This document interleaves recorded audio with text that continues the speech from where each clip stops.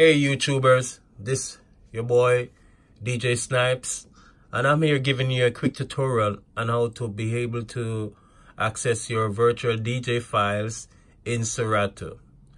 It's quite simple to access your Serato files into virtual DJ which are called crates.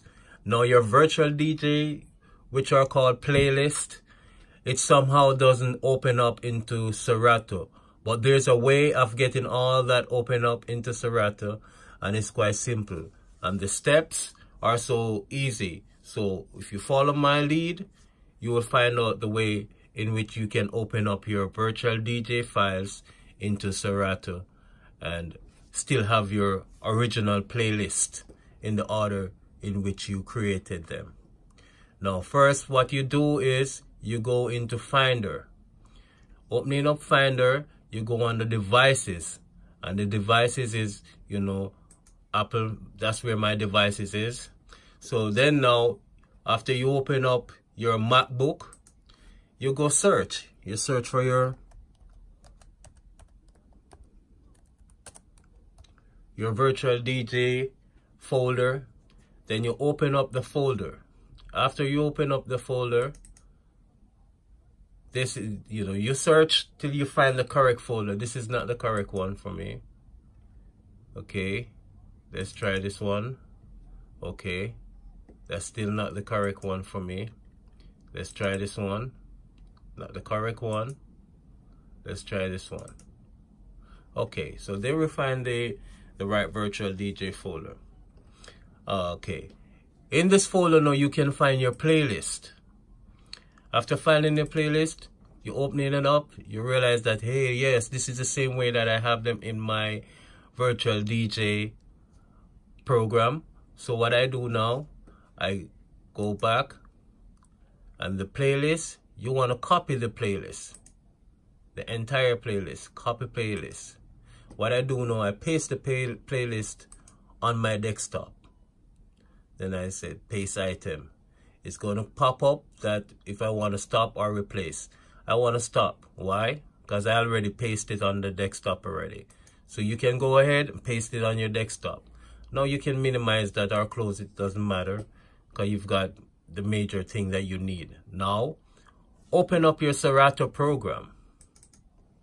Then opening up your Serato program, you go into files right here. So where I'm at, you go into files. You open up files, you go on your desktop. When you go on your desktop, you're going to be looking for your playlist folder. It's nearby now.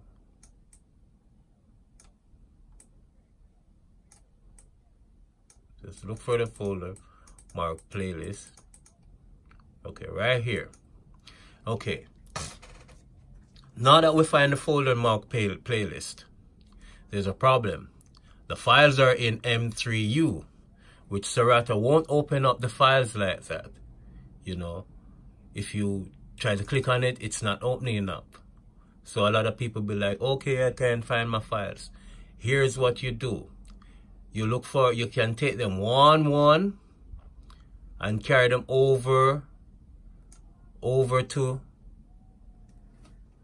this part here you, you're, you're going to drop it in the root release. And look, you click on it, voila, that's your music. You put them in.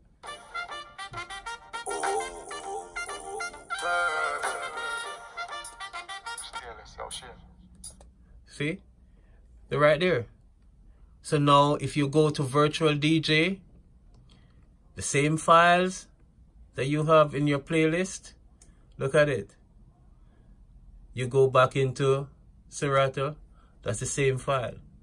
No, you didn't got to put the music in there one by one. Now, you can just arrange this to be a replica of your virtual DJ. And it's right here. So if you're a DJ like me, you go back and forth and play with the two softwares. Because, you know, sometimes, you know, you know, if you're a DJ like that, you like playing with the softwares. So this is the tutorial on how to transfer your files from virtual DJ to Serato. Because in Serato, it's kind of easy. In virtual DJ, I should say, it's kind of easy in opening up the Serato files because they are crates and they come automatically where you can open them up inside here right so but opening up your your your see right here crates. All your Serato full crates are right here. They can open up easy in virtual DJ now now that I put them I put the the crates into the virtual DJ playlist into Serato it opens up into the crates themselves. So I actually you know so it's quite simple. So hope you guys hope it help you out you guys. Uh you know just like share and comment on the link. And have a good day. And a happy new year to everyone